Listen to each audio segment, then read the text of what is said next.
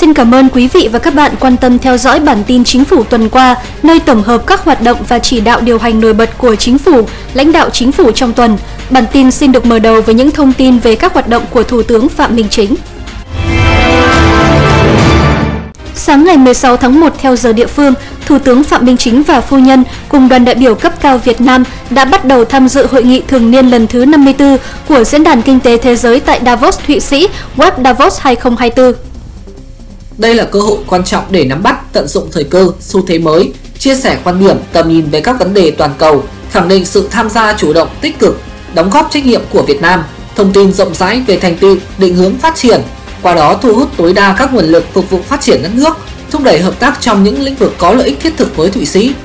Tại Davos, Thủ tướng đã chủ trì cuộc tọa đàm với các doanh nghiệp toàn cầu về hợp tác phát triển trí tuệ nhân tạo AI, công nghệ ô tô, chip bán dẫn và hệ sinh thái liên quan các ngành này. Theo Thủ tướng, trí tuệ nhân tạo, bán dẫn và công nghiệp ô tô là những ngành quan trọng, vừa có những động lực phát triển cũ cần được làm mới, vừa có những động lực mới cho sự phát triển. Thủ tướng cho biết, để phát triển các lĩnh vực trên, Việt Nam sẽ tiếp tục đẩy mạnh ba đột phá chiến lược, gồm hạ tầng chiến lược để giảm chi phí logistics, chi phí đầu vào, tăng sức cạnh tranh của sản phẩm, đào tạo nguồn nhân lực chất lượng cao và hoàn thiện thể chế để tạo thuận lợi, giảm chi phí tuân thủ cho doanh nghiệp, người dân. Chiều ngày 16 tháng 1 theo giờ địa phương tại Davos, Thụy Sĩ, Thủ tướng Phạm Minh Chính đã dẫn đầu đoàn đại biểu cấp cao Việt Nam tham dự và phát biểu tại đối thoại chiến lược quốc gia Việt Nam và Diễn đàn Kinh tế Thế giới WEB với chủ đề Chân trời phát triển mới, thúc đẩy chuyển đổi, mở ra các động lực tăng trưởng mới tại Việt Nam. Phát biểu tại hội nghị, Thủ tướng khẳng định chuyển đổi, tìm kiếm và kiến tạo các động lực tăng trưởng mới là xu thế khách quan và tất yếu của thế giới ngày nay không một quốc gia, nền kinh tế nào nếu vẫn giữ tư duy cũ, chỉ dựa vào các động lực tăng trưởng truyền thống có thể phát triển nhanh và bền vững. Thủ tướng đồng thời nhấn mạnh, để thúc đẩy chuyển đổi kiến tạo mở ra các động lực tăng trưởng mới, Việt Nam sẽ tập trung vào 4 nhóm giải pháp chính. Thứ nhất, tập trung giả soát, hoàn thiện thể chế, pháp luật với tinh thần tạo điều kiện thuận lợi nhất cho doanh nghiệp, nhà đầu tư. Thứ hai, tập trung phát triển cơ sở hạ tầng, trong đó tập trung phát triển hạ tầng chiến lược, nhất là hạ tầng giao thông, hạ tầng số, hạ tầng ứng phó với biến đổi khí hậu. Thứ ba, phát triển nguồn nhân lực, chú trọng phát triển nguồn nhân lực chất lượng cao. Thứ tư, cơ cấu lại nền kinh tế gắn với đổi mới mô hình tăng trưởng, trong đó ưu tiên phát triển các ngành công nghiệp năng lượng tái tạo, chuyển đổi xanh, chuyển đổi số, công nghiệp bán dẫn, thúc đẩy đổi mới sáng tạo. Cũng trong chiều ngày 16 tháng 1, Thủ tướng Phạm Minh Chính đã tham dự và phát biểu với vai trò diễn giả chính tại phiên đối thoại chính sách Việt Nam định hướng tầm nhìn toàn cầu trong khuôn khổ hội nghị Web Davos năm 2024.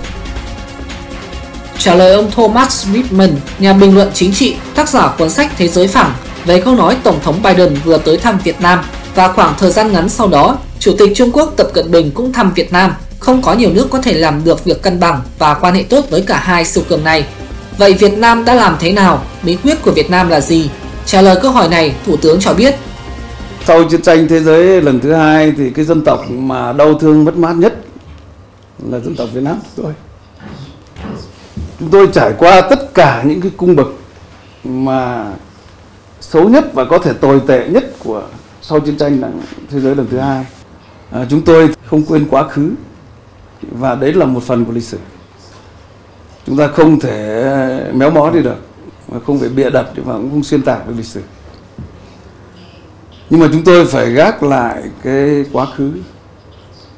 tôn trọng cái sự khác biệt, khai thác cái tương đồng và hướng đến tương lai. Và Việt Nam có thể là một cái hình mẫu về cái ờ, khắc phục và và khôi phục cái hậu quả chiến tranh. Hai nước ờ, như ngài nói, thì ờ, chúng tôi hiện nay là đều là hai cái đối tác chiến lược toàn diện và chúng tôi trở thành những người bạn. Nhân dịp tham dự hội nghị thường niên lần thứ 54 Diễn đàn Kinh tế Thế giới tại Davos, Thụy Sĩ, chiều cùng ngày trong không khí chân thành, cởi mở, Thủ tướng Phạm Minh Chính cũng đã có các cuộc gặp với nhà sáng lập kiêm Chủ tịch Diễn đàn Kinh tế Thế giới Klaus Schwab Tại cuộc gặp đánh giá cao chủ đề tái thiết lòng tin, Thủ tướng cho rằng đây là chủ đề thiết thực, phù hợp, có ý nghĩa quan trọng trong bối cảnh hiện nay, đóng góp vào quá trình củng cố niềm tin, thúc đẩy đoàn kết quốc tế, truyền cảm hứng cho mọi quốc gia, chung tay vì sự phát triển của nhân loại. Nhân dịp này, dưới sự chứng kiến của Thủ tướng Phạm Minh Chính và giáo sư Klaus thỏa thuận hợp tác thành lập Trung tâm Cách mạng Công nghiệp lần thứ tư và ý định thư tham gia sáng kiến mạng lưới tăng tốc thu hẹp khoảng cách kỹ năng đã được ký kết. Trong sáng ngày 17 tháng 1 theo giờ địa phương, Thủ tướng Phạm Minh Chính đã hội kiến với Tổng thống Thụy Sĩ Viola Amherd. Hai bên bày tỏ vui mừng trước những bước phát triển mạnh mẽ trong quan hệ hữu nghị và hợp tác giữa hai nước. Hai nhà lãnh đạo cũng thống nhất sẽ có cách tiếp cận linh hoạt trong đàm phán Hiệp định Thương mại Tự do Việt Nam và Hiệp hội Mậu dịch Tự do châu Âu EFTA và Hiệp định Bảo hộ Đầu tư song phương nhằm tạo thuận lợi và bảo đảm lợi ích của các doanh nghiệp và nhà đầu tư hai nước. Sau khi hội kiến Tổng thống Thụy Sĩ, Thủ tướng Phạm Minh Chính chủ trì tọa đàm Việt Nam, điểm đến hàng đầu ASEAN về đầu tư bền vững. Tại tọa đàm, Thủ tướng đã chia sẻ một số yếu tố mang tính chất nền tảng để Việt Nam trở thành điểm đến đầu tư an toàn, lành mạnh, bền vững và bày tỏ mong muốn các nhà đầu tư tiếp tục đến với Việt Nam. Chính phủ các bộ ngành luôn lắng nghe, sẵn sàng đối thoại, chia sẻ đàm phán, đã hứa là làm, đã cam kết phải thực hiện và cũng mong các nhà đầu tư theo tinh thần này.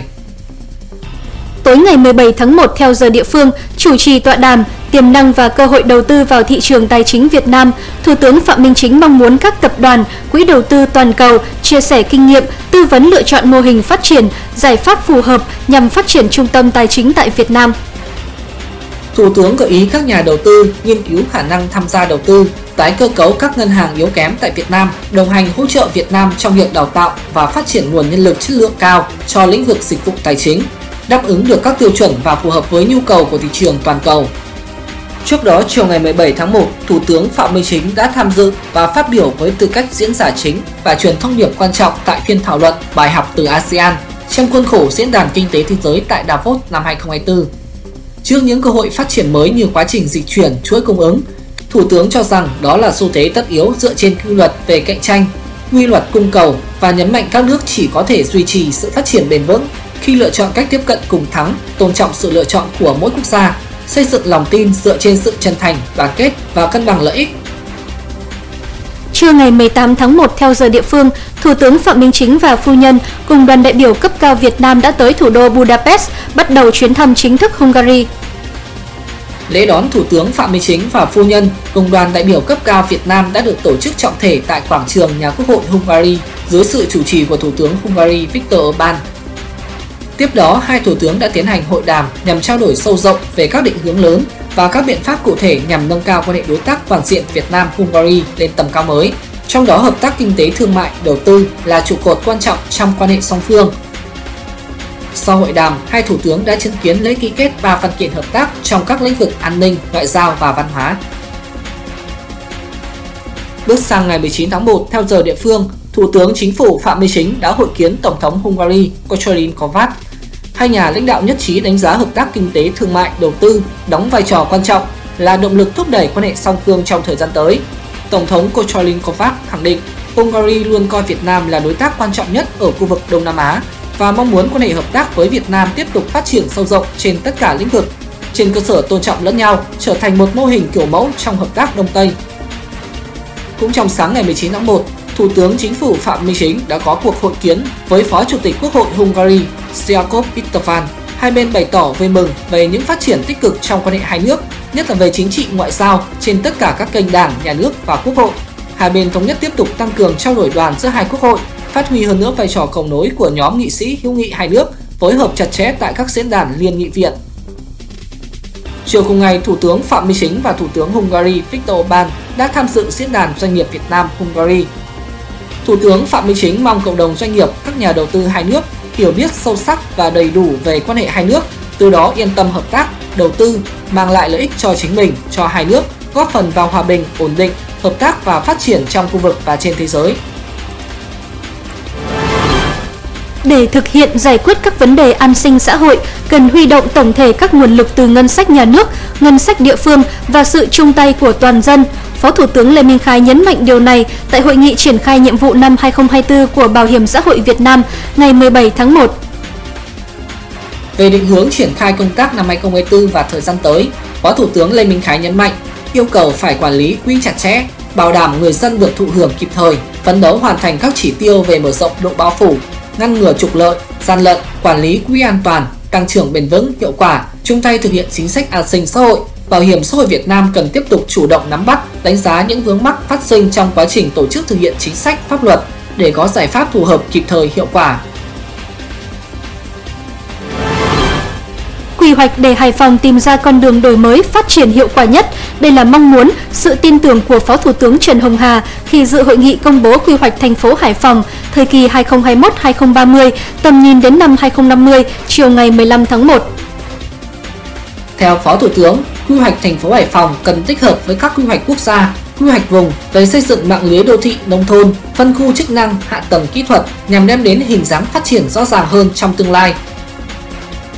dự hội nghị công bố quy hoạch tỉnh Gia Lai thời kỳ 2021-2030, tầm nhìn đến năm 2050, sáng ngày 17 tháng 1, Phó Thủ tướng Trần Hồng Hà mong muốn vùng đất Gia Lai giàu tiềm năng sẽ phát triển mạnh mẽ nhưng vẫn giữ gìn được những giá trị quý giá của đại ngàn Tây Nguyên cho con cháu mai sau.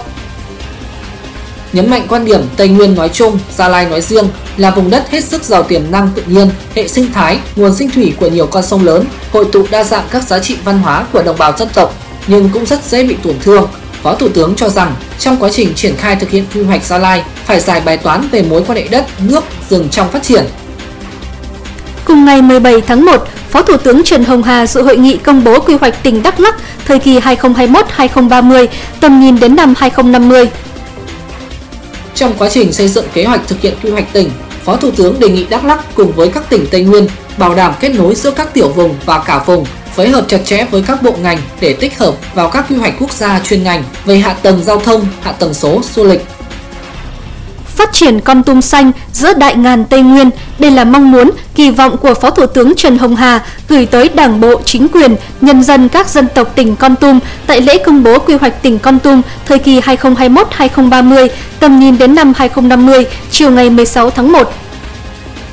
phân tích các thách thức đặt ra từ khâu lập quy hoạch đến quản lý, thực hiện quy hoạch, giải quyết bài toán xung đột giữa phát triển và bảo tồn văn hóa, bảo vệ môi trường. Phó Thủ tướng lưu ý, từ quy hoạch định hướng, Con Tum phải cụ thể hóa bằng các quy hoạch chi tiết về đô thị, nông thôn, các phân khu chức năng kinh tế, giáo dục, văn hóa, y tế.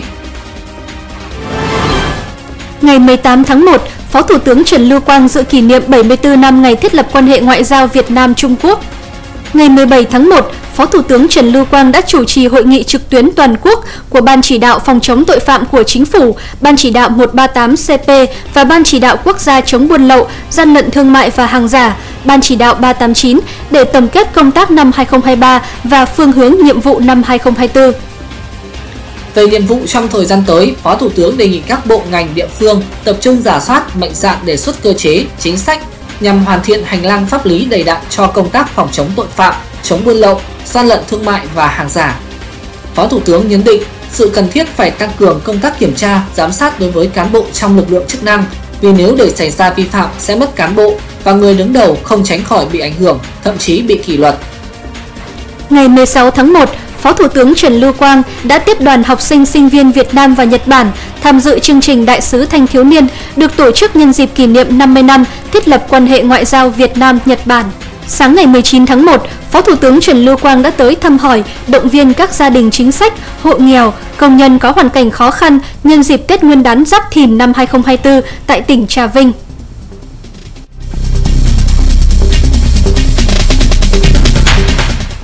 Thủ tướng Phạm Minh Chính ký ban hành công điện số 03 CDTTG ngày 14 tháng 1 năm 2024 về việc chăm lo đời sống, bảo đảm an sinh xã hội cho người dân và người lao động trong dịp Tết Nguyên đán Giáp Thìn năm 2024.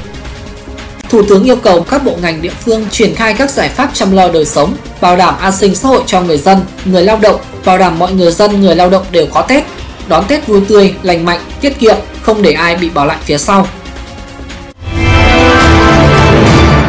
Kính thưa quý vị và các bạn, bản tin tổng hợp chính phủ tuần qua xin được khép lại tại đây. Quý vị và các bạn có thể truy cập cổng thông tin điện tử chính phủ, địa chỉ chính phủ.vn để có thêm thông tin liên quan đến hoạt động, chỉ đạo điều hành của chính phủ, lãnh đạo chính phủ. Mọi góp ý yêu cầu xin gửi về hòm thư chính phủ tuần qua a chính phủ.vn. Kính chào và hẹn gặp lại quý vị và các bạn trong các chương trình tiếp theo.